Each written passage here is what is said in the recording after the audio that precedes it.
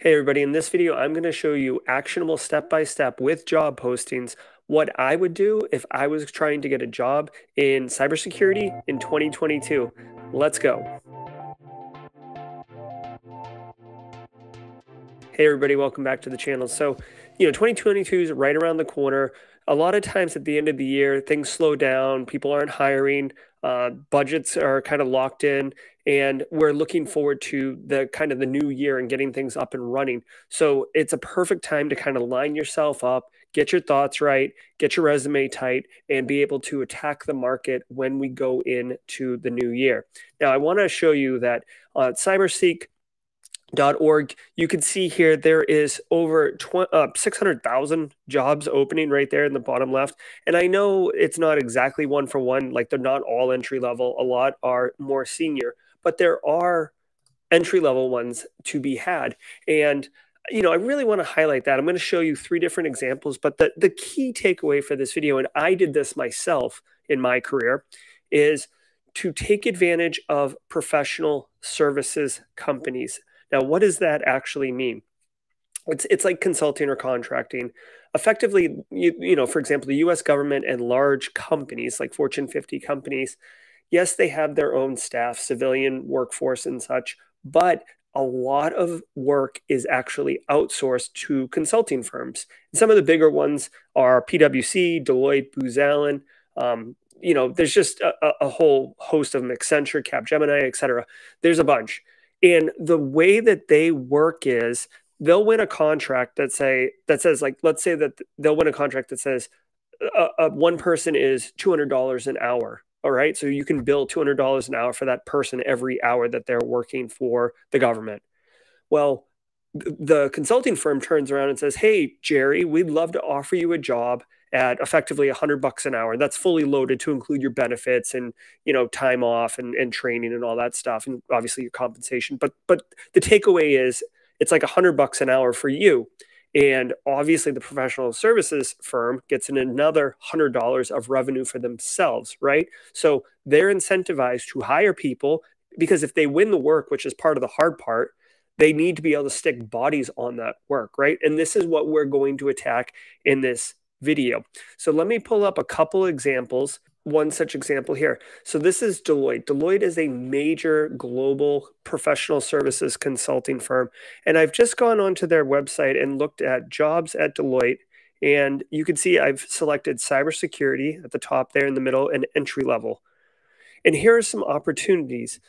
You can see like here, look at this. Deloitte Risk and Financial. I just clicked one randomly, okay? Here's what you do. You work in cyber. That's wonderful. Um, specific areas of responsibility, that's great. Let's talk about qualifications, right? Because that's the one that most people want to know about, right? Looks like you need a bachelor's degree. Okay, it's not outrageous. You do have to travel. Okay. And legal to operate in the United States. Perfect. Yeah. You know what you don't see? Three to eight years of experience in IT or, you know, 25 years of experience in cybersecurity or a CISSP certification, right? This is legitimate entry level uh, you know opportunity. And they have you know they don't have a million op- options like this but they do have several.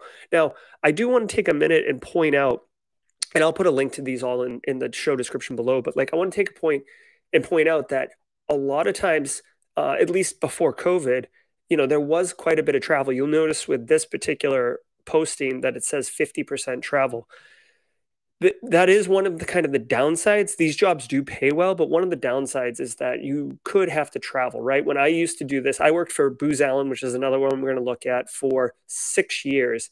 And I traveled, you know, I'd say maybe 30% of the time I'd go to Colorado, I'd go to California, I went to the South Pole, I went to New Zealand, right? So there, there's travel, and sometimes it's cool. Maybe you're really interested in going to New Zealand or whatever, and you can kind of make it a trip as well. But just know that that's kind of one of the things that you could expect uh, to happen. Although, again, with COVID and remote workforce stuff, that may not be the case as much anymore.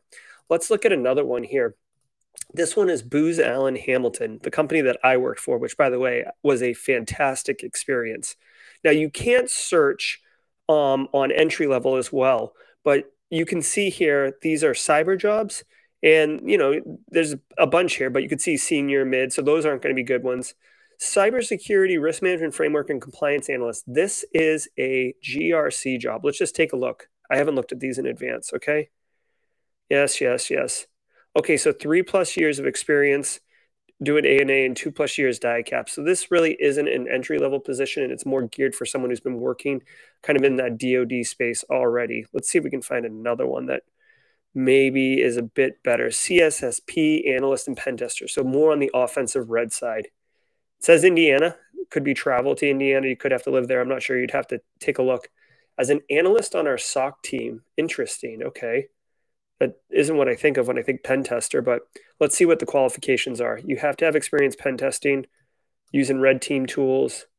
Okay. SIEM. Okay. Forensics. Okay. Log review. Okay. High school diploma. Okay. I don't see this is fine. This is a, uh, this is just like a certification. I think Security Plus actually qualifies as IAT level two. Requirement for um, undergraduate degree. There's no years of experience. You literally could get the things that they require of you in this job by doing TryHackMe, by doing labs, by by working on your own at home environment using Rangeforce to get some of that SIEM experience, right? So this is a perfect opportunity where they're paying uh, or they're seeking skills, practical skills over education, and we're seeing this more and more often where practical skills really are the dominant um, desire of these employers. Okay, let's look at another one. This is PwC. Okay, I just picked one randomly because they can't, they don't have um, the ability to search on entry level, right? But you can see, okay, travel, as I mentioned, there's travel requirements. This is a risk and regulatory guy. So this is a GRC position. Let's look at what the requirements are. You do need a bachelor's degree, okay? Not not too bad. Minimum years of experience, one year. So I do want to point out this, okay?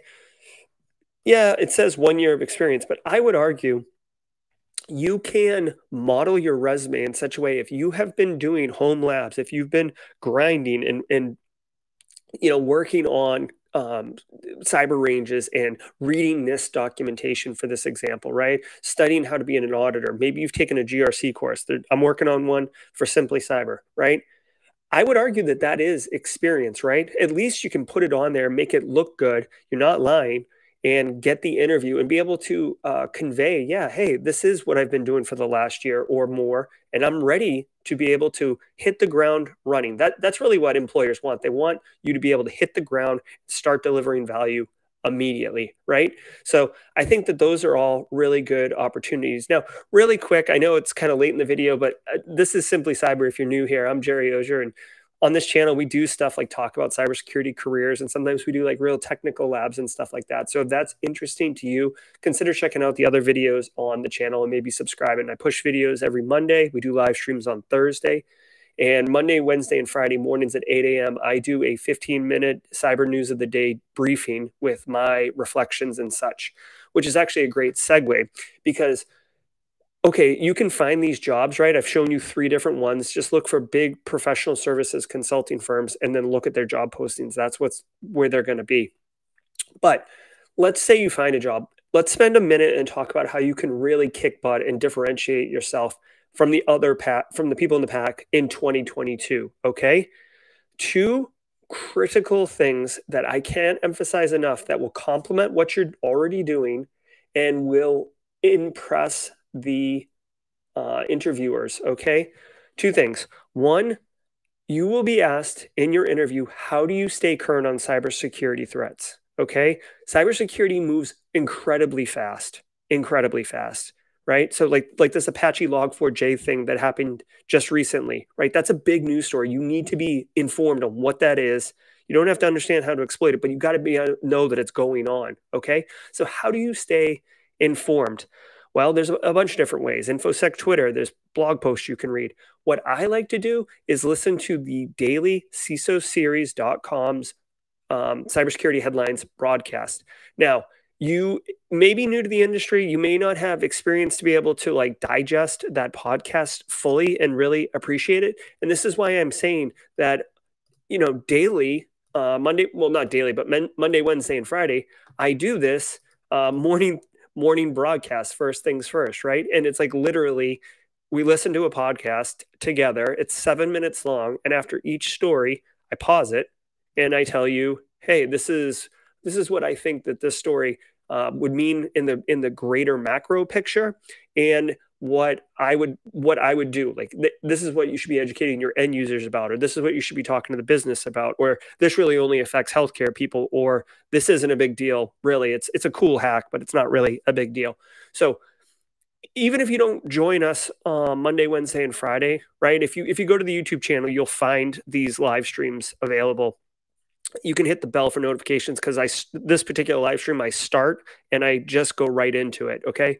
Um, if you don't, if that's not your speed, that's cool. But I'm just telling you, you need to stay up to date on current cybersecurity threats because you will be asked, how are you doing that in your interview? I guarantee you. Okay. The second thing that you can do that will be absolutely beneficial, um, especially uh, for finding a job, but for just for your overall cybersecurity career, is networking. I can't say it enough, people. Listen, networking, networking, networking, people networking. Okay, not computer networking. That's important, but people networking is super important. And how do you do it? Right now, there's a real, like LinkedIn is pretty good, but I am seeing a massive trend on Discord servers. There are so many different cybersecurity Discord server. So, you, so what is a Discord server if you're not familiar with it, right? Okay, so here's my Discord server. It's an application that you use to access, and you can see on the left, these are servers. So this is the Simply Cyber one, Cyber and Security, Black Hills Information Security, DEF CON 940, etc. There are tons of Discord servers. And within each of them are, you know, these different channels. You can see this is a general chat channel, but a lot of times there'll be ones like job hunting, goal setting, mentoring, right? You can see Black Hills Information Security has a very, very active community, right? So you can you can get in here, you can talk to people, um, and you can share ideas. You can lurk. It's very easy to lurk and just listen and in, inject when you want. You can find very specific things. Like let's say you're big on wanting to do forensics on Android mobile devices, right? That's like your your bag. There's probably a Discord server for like mobile malware or uh, malware or Android security, right?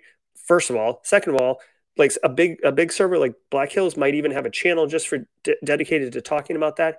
The point is, you need to engage the community. And I'm sorry if you're uh, self-identify as an introvert. There is an opportunity and a way for introverts to be socially engaging and networking as well as extroverts. Okay, so it's it's very important um, for for your overall career success. Uh, I assure you, you can succeed without networking, but it will be a, a tougher challenge. Uh, I guarantee you.